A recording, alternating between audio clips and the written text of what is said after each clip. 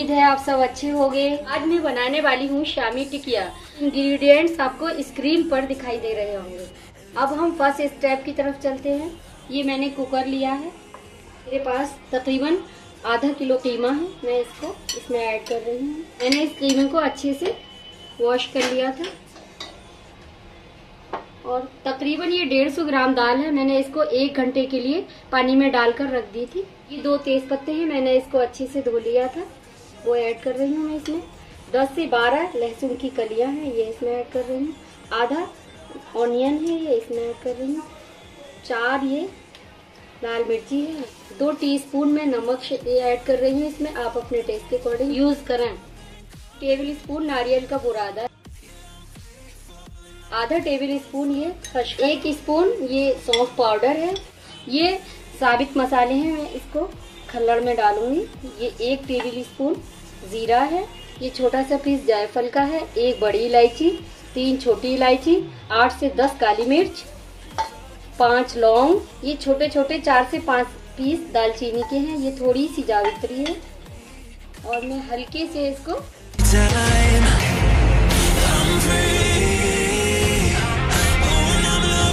थोड़ा सा कूटना है। इसके बाद मैं इसमें ऐड कर रही हूँ। मैंने गैस की फ्लेम हाई कर कर मुझे इसे ढक्कन लगाकर दो सीटी लेनी है। फिर उसके बाद तकरीबन 15 मिनट के लिए फ्लेम पर छोड़ना है। कीमा हमारा तैयार हो रहा है। तब तक मैं इसके लिए चटनी बनाती हूँ। चटनी बनाने के लिए मैंने मैं ये एक कटोरी तकरीबन धनिया है, ये पाँच बड़े हरी मिर्च है, ये एक अदरक का पीस है, इवन दस पंद्रह कली लहसुन की एक चम्मच जीरा है, आधा चम्मच भुना जीरा दो चुटकी हींग हरी मिर्च हमारी जब सूख जाती है तो हम उसका पाउडर बना लेते हैं। इससे चटनी में फ्लेवर बहुत अच्छा आता है। काला नमक ये आप अपने टेस्ट के अकॉर्डिंग करें। से बीस मैंने इमली इसको अच्छे से भिगा दिया था। मैं ऐड कर रही हूँ पानी ऐड कर रही हूँ।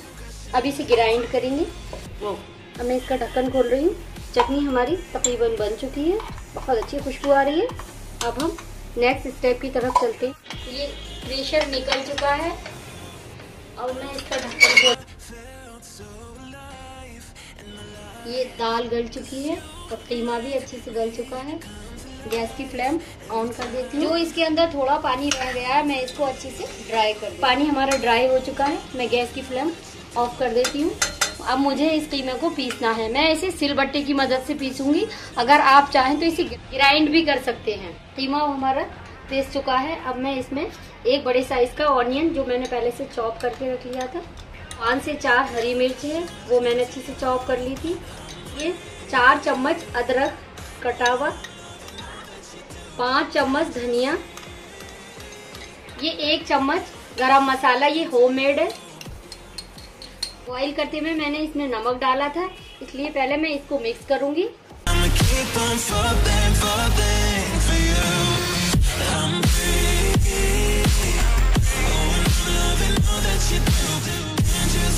मैं इसका नमक टेस्ट करूँगी।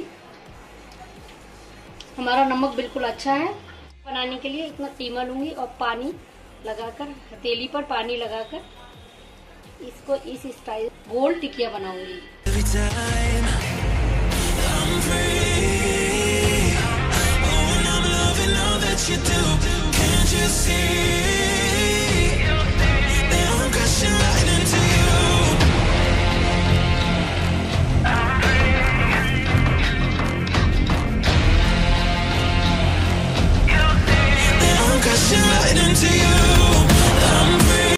सारी शामी टिक्कियाँ तैयार हो चुकी हैं।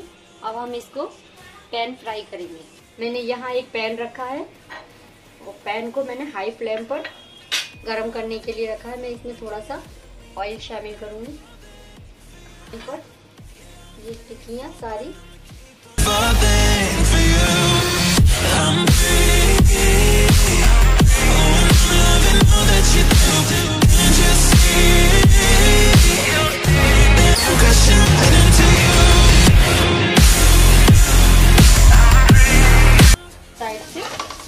पलट देना है ये मुझे सारी ऐसे ही साइड से पलट देनी है फ्रेंड आप इन कबाबों को बिरयानी के साथ भी सर्व कर सकते हैं या फिर चपाती के साथ गाइज़ ये शामी टिक्कियाँ तैयार हो चुकी हैं अब हम इसे सर्व करेंगे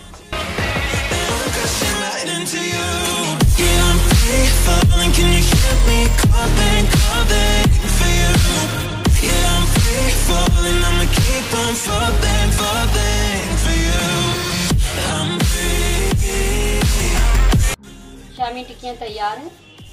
देखिए, बाहर से कितनी क्रिस्पी हैं।